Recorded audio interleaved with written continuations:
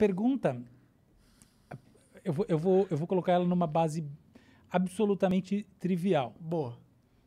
Até que ponto existe algo de especial, de específico, de único na consciência humana em relação à inteligência de máquina? Essa é a grande pergunta. E essa é uma pergunta poderosa porque ela, ela parte de um quase que um, um caô. O, o Bruno sabe das coisas. E o caô é o seguinte, de que a gente entende o cérebro humano. E, e então, para poder responder isso, eu tenho que passar por um certo um, um, uma, um, roteiro de entendimento. Só que esse roteiro vai ser por definição limitado, porque a gente não conhece exatamente como, ou melhor, não é que a gente não conhece. A gente tem teorias divergentes, teoria é para feia, né? Mas é isso, visões diferentes sobre como essa, essa tal consciência emerge. Então, primeiro, para começar, que raios é consciência? Consciência pode ser duas coisas. Eu tomo consciência de algo. Olha para esse copo. Tomada de consciência. Eu estou aqui operando nesse, nesse universo espacial meu carro está lá fora. Eu penso nele, eu tomei consciência sobre ele. O, o, carro não deixou de existir no meu campo existencial, no sentido que existia uma disponibilidade do carro na minha mente. Mas ele não estava no campo de representação sequer indireta. Então tem coisas que estão no campo de representação indireta. Eu estou falando, por exemplo, sobre esse copo, eu sei que tem a garrafa. Começou a baixar o copo, eu sei que eu posso pegar na garrafa. O carro não, ele está fora do campo de significação. Quando ele entra no campo de significação, a consciência, a gente tem uma tomada de consciência, e essa tomada de consciência tem, tem a ver com atenção. Percebe? Tem muito a ver com entrar num campo de atenção. Só que não é a mesma coisa que atenção, porque atenção tem a ver com diretividade do seu investimento energético. A tomada de consciência, às vezes, ela, ela vem numa, numa periferia do seu campo de, de interesse principal, tá? O, o objeto é, sobre o qual recai a consciência em um determinado momento que você quer listar. Percebe algo sem querer, é isso? Falou tudo. Percebe algo de soslaio, percebe algo no contexto de outras coisas, etc e tal. Mas tem a ver com atenção. Existe uma outra forma de consciência que é a seguinte. Fecha os olhos. Vamos fechar os olhos. Pensa assim, quem sou eu? Agora pensa o seguinte, o que, que eu sinto? Abre os olhos. Isso que você tem, que é uma espécie de assinatura de si mesmo, é a consciência de si mesmo ou consciência fenomenológica. A consciência fenomenológica é uma constante. Como é que a gente sabe que ela é uma constante? Ué, você toma umas bebidinhas a mais e você vê que tem uma coisa alterada no seu jeito de se sentir. Certo? Então são duas consciências diferentes. Qual que é a lógica da consciência? A consciência fenomenológica, ela é alterada, fosse assim, o seu default que justamente vai permitir você perceber o quanto uma coisa é mais relevante, menos relevante, porque muda alguma coisa em você. Muda suas sensações, suas emoções tudo mais, tá bom? Então, beleza. Então, essa é a consciência. Dois registros que, que andam juntos. Um de base que está quase sempre com você, o outro que, tchumba, serve para você tomar consciência das coisas. Que é você tomando consciência, não são as coisas. Legal. Essa consciência, como é que ela está estruturada? Existem algumas teorias. Eu vou diretamente no ponto que interessa na minha visão. O cérebro, a gente pode olhar ele de seguinte maneira. A gente tem várias áreas, tá? E várias maneiras de dividir. Então, por exemplo, vamos pensar assim: eu tenho aqui o cérebro, eu tenho aqui o cerebelo, eu tenho aqui o tronco encefálico, tá bom? Eu tenho dentro do cérebro, eu tenho, eu tenho telencéfalo e eu tenho diencéfalo. O que, que é diencéfalo? Eu tenho um núcleo chamado tálamo, chegam várias conexões lá. Eu tenho, tá, ele, ele tem um sentido no sono, num monte de coisa. Eu tenho o hipotálamo, tem sentido endocrinológico, mas um monte de coisa. Tira isso do assunto. Aí eu tenho o tal do telencéfalo. Então, o que, que eu tenho no telencéfalo? Eu tenho os córtices cerebrais, tá? Então, eu tenho o, o hemisfério esquerdo, direito, eles estão ligados para um negócio chamado corpo caloso. Eu, tenho, eu posso dividir assim. Eu tenho lobo frontal, parietal, temporal, occipital, tem um monte de coisa. E aí eu tenho toda a estrutura do cérebro. Eu vou descendo no plano das células, tá? Dos neurônios. Tem uma série de neurônios. Eu tenho neurônio, é, neurônio típico, eu tenho neurônio motor, do interneurônio, então não sei o que. Eu posso dividir os neurônios fisiologicamente, célula piramidal, essa piramidal, um monte de coisa assim. Eu tenho as células que apoiam oligodendrócitos, é, é, astrócitos, o que você imaginar. Então, eu estou sempre olhando para um raio de um troço que, no fundo, é a carne do cérebro. Mas como a Patrícia Churchland, que é uma filósofa maravilhosa, falou, a carne não tem consciência. Então o grande ponto é, a gente na neurociência está muito olhando essa carne, mas pouco olhando como é que a emergência da da- dessas duas coisas, que são você mesmo ou a coisa que você percebe, acontecem. E hoje em dia a gente começa a ter alguns avanços. Então, por exemplo, qual é um avanço? Como é que você toma consciência de alguma coisa? Você está escrutinizando o ambiente, ok? Então, você tem movimentos que a gente chama de microsacádicos, tá? Você está aí processando coisas. O seu cérebro, as colunas. Imagina que você tem assim. um- vou, simplificar o negócio. Mas você tem um monte de tubinho, tá bom? A gente chama isso de colunas corticais. Tem um monte de tubinho. Não é nada disso, os neurocientistas em casa, mas não importa. Tudo bem. Pra gente entender, É, né? isso aí. Os tubinhos, eles são tubinhos que você pode usar para mandar uma bolinha, beleza? Quando eu reconheço alguma coisa que tem relevância, imagina que eu mando uma bolinha com força para baixo. Então, como é que eu faço? Quando eu estou escrutinizando o ambiente, eu tô as diferentes áreas que estão sendo sensibilizadas, elas estão mandando bolinhas para baixo. O que, que elas estão fazendo na prática? Elas estão dando a sua opinião, por assim dizer, sem intencionalidade nenhuma, sobre a relevância, ok? Então, como é que você toma consciência das coisas? Determinado elemento no ambiente recebeu muitas bolinhas para baixo. Alguém vai. Na prática, o que, que é isso? Votação. A chave para o entendimento de como funciona a fenomenologia da consciência é a votação. Cara, que loucura isso, mano. Porque. É, eu espero que não tenha ninguém assistindo esse programa, porque eu quero escrever sobre isso, não quero que ninguém me copie. Mas eu tô muito. Olha, eu acho difícil copiar você, viu? Porque por mais que eles escutem esse. Eles não vão Tô conseguir explicar. né? E eu sei que tem muita gente assistindo, o programa é maravilhoso. Mas olha só, no final das contas, qual que é o X da questão? O cérebro vota. E a sua consciência é a emergência de padrões vitoriosos num processo que está distribuído. E aí vem a parte mais pessoal minha, que na minha visão lembra muito um blockchain. Porque o blockchain é essa estrutura distribuída, descentralizada, entende? Então, cadê o homúnculo dentro do cérebro escolhendo o que você toma consciência? Ele não existe. Ele é determinado pela relação entre os elementos que são no seu passado e na sua biologia e, e nos seus interesses futuros relevantes e as votações que seu cérebro faz. Se você está mais desatento, você passa por um e não percebeu. Por quê? Na prática quer dizer que, que células específicas que são sensoriais e que poderiam te levar à fixação não atuaram. Tá? Então o que, que isso tem de importante? Por que eu estou falando tudo isso? Não é para dar um. Vamos fazer o solinho sobre conhecimento do cérebro e teoria. Não é nada disso. É porque esta votação quer dizer o quê? Quer dizer que o que importa são poucas células atuando. É a seletividade. Agora vamos olhar uma rede neural como ela funciona. Imagina que, por exemplo, imagina que eu tenho uma imagem, tá? Eu quero fazer reconhecimento de números. Então eu tenho um número que alguém escreveu com a mão. O número é 7, tá? Então eu tenho um grid de pixels, tá bom? Os pixels são todos originalmente, eles eram pretos. Alguém escreveu com uma coisa meio, tipo, pensa um lápis meio branco, tá? E aí tem umas partes que estão meio, alguns pixels estão meio cinzentos, porque eles tem um pedaço que foi escrito, outro que não foi, e tem uns que estão até inteiro brancos, tá bom? Então, imagina que eu tenho aqui 100 pixels, tá? Que formam esse grid.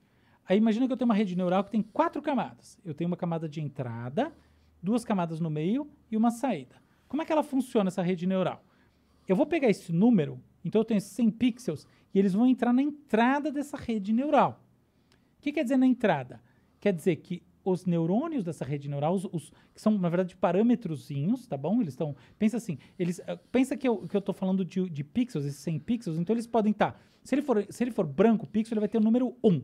Se ele for preto, ele tem 0. E os cinzas têm um número intermediário. Meu objetivo é identificar que número está do outro lado. O número foi escrito à mão, eu quero saber em, digitalmente que número que é. Aham. Então eu entro na primeira camada com esses pixels, tá bom? Eu tenho uma segunda camada que vamos dizer que ela não é assim que funciona, ela está processando as retas, tá bom? Então, por exemplo, eu tenho uma reta para cá, É o padrão dos pixels. é, eu tô no, no padrão de reta. O outro, eu tô, eu, tô, eu tô processando ângulo, tá? Então, o número 7 tem um ângulo, tá bom? Então, vamos dizer que é isso. N- não é assim que funciona. O que acontece? Originalmente, eu passo por essa camada, eu não treinei nada do algoritmo. Ele vai cuspir do outro lado uma coisa randômica. Quer dizer o quê? Eu tenho uma bolinha que é branca, outra totalmente preta, várias delas são cinza, eu não sei que raios que é. O que, que eu vou fazer? Eu vou ter uma- um cálculozinho que eu vou fazer entre cada bolinha. Eu sei que o número que importa é o número 7, tá? Então eu tenho de 0 a 9. Então eu vou falar assim: o que eu quero é que o número 7 fique branquinho e todos os outros fiquem completamente escuros. Então, existe uma fórmula para calcular o erro. Na verdade, a gente calcula o erro ao quadrado, não importa o que é isso. O que importa é o seguinte: eu tenho uma fórmula para calcular o quanto o algoritmo errou. E eu tenho uma técnica chamada backpropagation que vai fazer com que esse erro, esse sinal de erro, se propague para dentro da rede, ao contrário. Para treinar os negocinhos, para chegar lá no final e só acender o branquinho do número 7 e os outros todos ficarem escuros. O que, que isso significa na prática? Que todos os neurônios da rede neural estão conectados entre si, gerando esse output. Olha como é diferente no cérebro. Então, uma das principais diferenças, respondendo ao Bruno, é a esparsidade. É o caráter, não sei falar assim em português. É o caráter esparso da atividade neural em relação à atividade das, da, do, dos, das redes neurais artificiais. Isso é, acho que não tem. Se tiver três, quatro papers no mundo escritos sobre isso, é muito, tá? Então eu não quero que ninguém roube minha ideia. Mas é isso. É, o caráter esparso é, é, é fundamental. Então, assim, o que, que de, como é que a, a, a, inteligência artificial vai se tornar consciente? Primeira coisa, ela tem que ter atividade esparsa. Porque se ela dispara, o cérebro também dispara ao mesmo tempo, tá? Um monte de coisa ao mesmo tempo. Sim. Aí você tem o quê? Uma convulsão. Entende? Então, a esparsidade é determinante para a gente poder ter esse fenômeno. Segunda coisa, Deixa eu só te interromper um pouquinho, claro, só para ver se eu estou entendendo o que está acontecendo. Até agora foi só a primeira coisa. É. Só a primeira coisa para a gente ter consciência na máquina. Sim. Você está falando que a forma com que a nossa consciência emerge do nosso cérebro funciona de um determinado jeito. E que se essa inteligência artificial fosse gestada ou gerida, ela não conseguiria funcionar desse mesmo jeito? Não, eu estou dizendo o seguinte: não tem nem como ela começar do jeito que ela está arquitetada hoje em dia. É, é, isso que você falou, só que ainda de uma forma ainda mais radical. É assim, o, a rede neural hoje em dia ela funciona, a, o, o, padrão, a arquitetura dos neurônios é diferente do que faz a gente tomar consciência das coisas. É isso que eu estou dizendo, primeira coisa, entendeu? Tem uma coisa que você falou é que quando a gente está tomando consciência das coisas, nosso cérebro dá vários inputs. Isso. Tem o, as, as partes brancas, as partes pretas e as partes cinzas. Né? O que difere um pouco do, do de um computador normal que a gente está acostumado. Computador ele tem inputs de 0 e 1, um, ele não tem inputs cinzas, né? Ele não consegue gerar essa complexidade de, de, dados, né? E é uma coisa que talvez impeça inteligências artificiais atuais de, se, de terem um comportamento igual o que acontece no cérebro humano, porque eles não têm as mesmas ferramentas.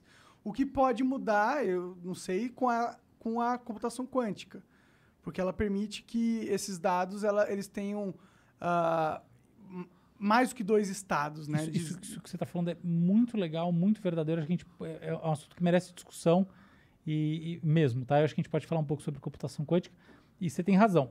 Mas aqui, sobre esse ponto específico é o seguinte, vamos ficar no simples assim, a arquitetura do cérebro é diferente de uma arquitetura típica de rede neural artificial. Tá. Primeira coisa. E isso tem a ver com a tomada de consciência sim. Esse é o primeiro ponto. O segundo ponto, quando você toma consciência de alguma coisa, isso que você tomou consciência se traduz por um modelo de mundo.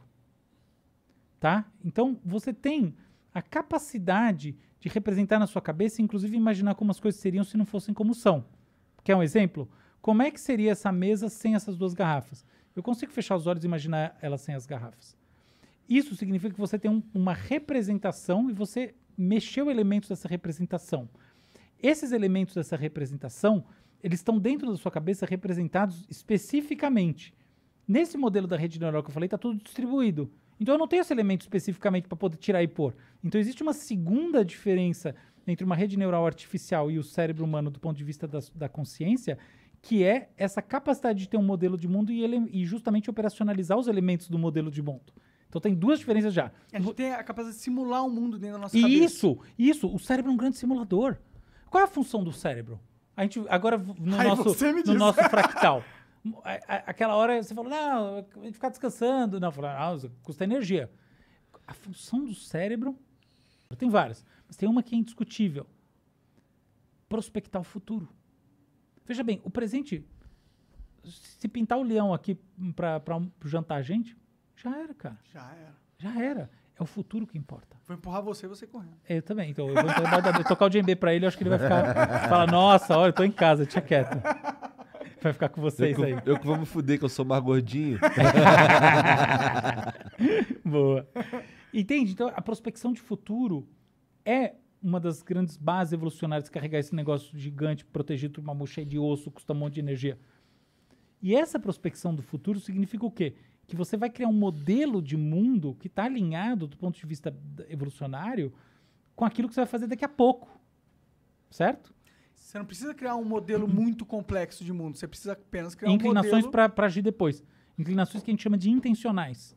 Então, olha só, quando a gente vai falar do que é essa, essa atividade da consciência, ela é uma atividade que, que, apesar do tempo, a gente é muito engraçado isso, né?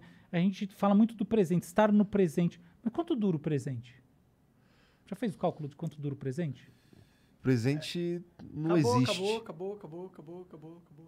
Boa. Ele dura alguns. é, Então, é muito engraçado, né? O presente não existe.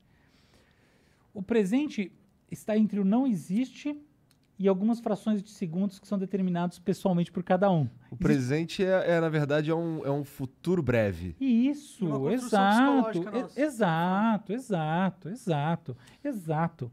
Entendeu? Então a gente está sempre nesse processo. É isso. E aí, nesse processo, o que acontece? A gente usa representações de mundo injetadas da nossa intencionalidade. Tem um cara muito interessante que falava isso de um jeito difícil, chama Heidegger, que falava, na verdade, isso, apesar dele falar difícil, ele falava isso de uma maneira que os, os- intérpretes dele traduziam de maneira muito bonita, tá? Tem um especial chamado Merleau-Ponty que falava isso de um jeito brilhante. Mas o que importa é, esse é o papo.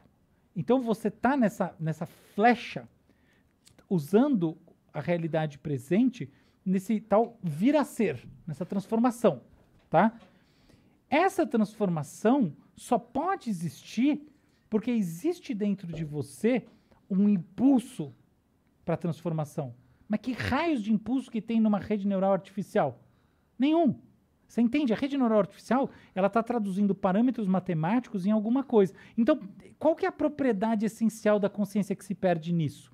A consciência das coisas não é simplesmente assim, ah, olha um copo. É tipo, opa, olha um copo, vou tomar um vinho. Entende essa- questão, X- o X das coisas? Aham. A gente não toma consciência das coisas meramente porque elas existem. Igual eu falei, você está escrutinizando o ambiente, você toma consciência do que é relevante. O conceito de relevância é o conceito fundamental aqui. E isso é a segunda coisa, respondendo pro, pro, pro, pro Diego, Bruno, Bruno. pro Bruno, Bruno Chá. perdão, perdão, desculpe. Pro Bruno, que entra nessa equação, que é o quanto a consciência é determinada por, esse, por essa coisa que a gente faz. Vou colocar essa coisa de uma maneira que, que é filosófica, mas eu acho legal e é rápida. É o seguinte: imagine quantas direções da nossa tomada de consciência existem? Quantas intenções Infinitas. a gente tem no mundo? Infinitas. Quantas intenções existem no mundo? Linhos de força. Três. Não é infinitas? Três. Na minha visão, três. Três? Três. Quais sons? São assim. Quais sons? O cara tá É, bêbado. tô vendo, desculpa. Tá. É bom, vinho é bom. Não, mas é muito legal. Porque a gente tá muito solto aqui, né? Tá Aham. demais. E, e a, e, a, e a pergunta, por sinal, ela, é- a gente tá respondendo junto aqui, nós três, a pergunta, mas sem pressa para chegar no final. É, não tem É o pressa. processo. É a experiência psicológica. Então, olha lá. Eu tenho esse copo de água. E eu tenho dentro de mim um impulso, que é a vontade de tomar água. Olha só o que vai acontecer. A água estava aqui. Agora ela está aqui. O que, que eu fiz? Eu alterei um estado do mundo. A água foi aqui. E esse estado do mundo foi alterado para quê? Para eliminar um estado da mente. Qual era o estado da mente? Vontade de Sei. tomar água. Então o que, que eu fiz? Eu fiz um flush DNS, eu eliminei do meu cache um estado da mente. Qual é o estado da mente que eu, que eu eliminei? Um estado intencional da mente, que era vontade de tomar água. Então o que, que eu fiz? Eu corrigi um estado da mente de acordo com o estado do mundo. Eu fiz uma correção mente-mundo. Certo? O que, que é uma correção mente-mundo? Eu faço qualquer coisa a partir de alguma coisa que está acontecendo na minha mente. Qualquer movimento desses intencionais é isso. Tudo que você vai fazer. Eu vou criar um podcast. Não, eu vou comprar um microfone. Não, eu vou dar um trago no cigarro. E etc e tal. E da onde vem esse estímulo, né? Da onde vem essa intenção? É uma coisa é, primordial. é Ela pode vir de muitos lugares, mas sobretudo as- as- o que importa da intenção é o seguinte: existe um processo mental que te leva a fazer. Como é que a gente sabe isso? Porque em vez de tomar essa água, se, por exemplo, eu estimular seu cérebro de determinadas maneiras, seu- seu hipotálamo, etc, tal, talvez você não tenha vontade de tomar água. Então existe uma, uma eu não vou chamar isso de, um pro- de uma programação, porque é ingênuo, porque o cérebro não é, a, a dicotomia hardware-software não funciona tão bem no cérebro, mas existe de fato uma implementação e essa implementação está determinando o seu comportamento. Isso que importa. E eu fiz uma correção de um estado do mundo a partir de um estado da mente. Agora, olha o seguinte. O Igor, ele é um cara que sabe jogar futebol. Ele conhece as regras do futebol, hipoteticamente. E eu quero aprender as regras do futebol de verdade, assim, escanteio, se eu posso tirar o pé do chão, isso aquilo. Então eu vou jogar com ele, vou perguntar uma série de coisas para ele. As regras do futebol existiam no mundo. Onde, por exemplo? No cérebro dele. E o que que eu vou fazer? Eu vou alterar num estado do meu próprio cérebro, do meu próprio ser, para me acoplar, me amoldar a um estado do mundo. Então eu fiz uma correção de ordem contrária, uma correção mundo-mente. O mundo gerou alteração na minha mente. O que, que é isso? Aprendizado. O que, que faz a inteligência artificial de hoje em dia? Aprendizado de máquina. Correção mundo-mente. Então essa é a segunda linha intencional. De dentro para fora, de fora para dentro. E existe uma terceira. Imagina que eu sou, por exemplo, um romancista. Eu pensei um personagem. Aí eu pensei o segundo personagem. Eu falo, puta, mas tá meio dissonante, né? Não, não tá virando. O que, que eu faço? Altera um personagem em relação ao outro. Pensa que eu tô pensando em qualquer coisa. Eu pensei uma coisa. Mas falo, puta, mas essa ideia em relação àquilo que eu acabei de falar, eu dou um tapa na ideia. O que, que eu fiz? Eu alterei um estado da minha mente de acordo com outro estado da minha mente. É uma correção mente-mente. Esses três estados intencionais resumem todos os estados intencionais que existem. Então, Eu corrijo o estado do mundo para acomodar um estado do meu ser, meu estado fisiológico. Eu corrijo um estado do meu ser para se acomodar um estado do mundo. E eu corrijo um estado do mundo, o estado da minha mente, o estado do ser a partir de outro estado do ser, que é uma coisa que basicamente o ser humano que faz. Tá? Quase ninguém faz isso. É o que eu saiba, na verdade, vamos ser simples. Isso é uma propriedade tipicamente humana.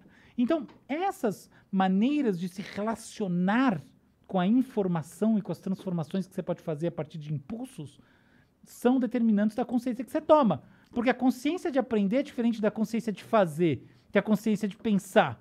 E essas consciências todas não podem ser emuladas numa máquina porque ela simplesmente está cuspindo parâmetro. Então tá respondido, acho que a gente pode ir para a próxima e depois falar de computação quântica. Beleza. Tá.